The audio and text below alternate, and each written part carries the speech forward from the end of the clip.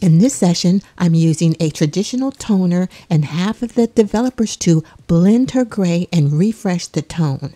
I'm focusing on those sideburns. You see that white hair? What this technique does is it's going to soften that white hair. It's not going to cover it. It's not going to be opaque. I used a beige traditional toner and I cut the developer amount in half. I made the formula one to one. I added bond builders and I added collagen. I applied the hair color formula to dry hair and it processed for 30 minutes, start to finish. I rinsed her with tepid water. I emulsified the dye product and then I used that as my shampoo and rinsed it out. I didn't use any additional conditioners.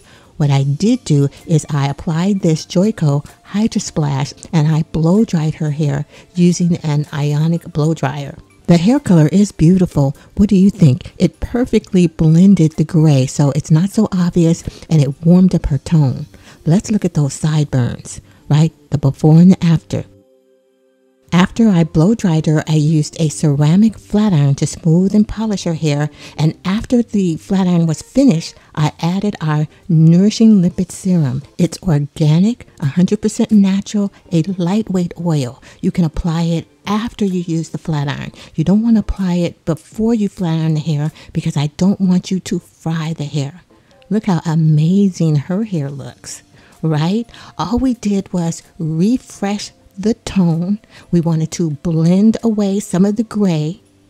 Okay, this is before. This is what was happening when she walked in before. The blonde ends were from uh, a highlight over six months ago.